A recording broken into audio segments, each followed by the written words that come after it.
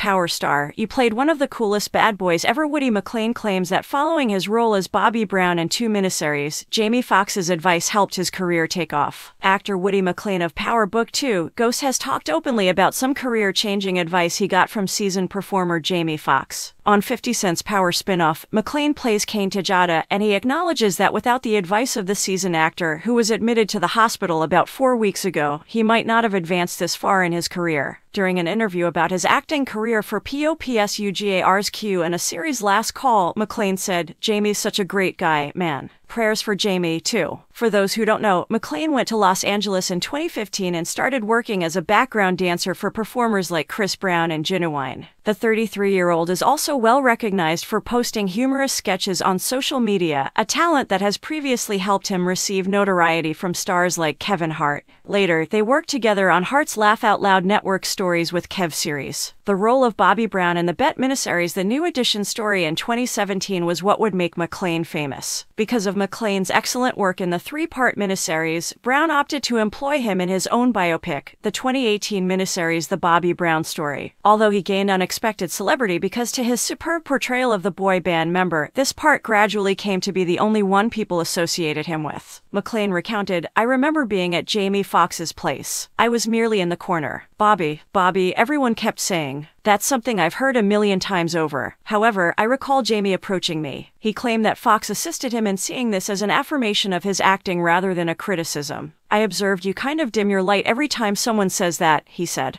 You can't do that, McClain remarked. He asserts that Foxx may identify with him because he was once only recognized for his part as Wanda, sometimes known as the ugliest woman in the world, on the 1990s comedy sketch program In Living Color. People start saying things like, hey, yo, you that be that be, right you. Foxx allegedly stated, You've got to realize that you played one of the hippest cats to ever play the R&B game. One of the coolest bad boys you've ever played was you. In the category of Outstanding Actor in a Television Movie, Limited Series, or Dramatic Special, McClain received an NAACP Image Award nomination. He continued by saying that the singer's suggestion was to embrace it rather than shy away from that. The 55 year old is said to have said to him, Until you embrace it, then you won't be able to move on. You'll receive more items. There will be more things. You're going to do fantastically. Since McClain received his first significant acting part in one of the most well liked television programs years later, it would seem that Foxx knew what he was talking about. The first person to post information on her father's condition on Instagram was Foxx's daughter, who noted that the family had requested privacy. Kevin Hart revealed that Foxx is getting better and clarified why information about him hasn't been made public from Foxx's inner circle during an interview on the Impulsive podcast last week because Jamie has always been somewhat of a recluse, Hart said they're being tight for reasons just about where he is. While details on Foxx's health have been scarce, he recently posted on Instagram to express his gratitude for all the love from the public. Nick Cannon has taken over as the host of Jamie Foxx's well known game show, Beat Shazam, which airs on Fox Network following his illness. The Grammy winning musician's 29 year old daughter serves as the game show's DJ. Kelly Osbourne is currently filling Corinne's position.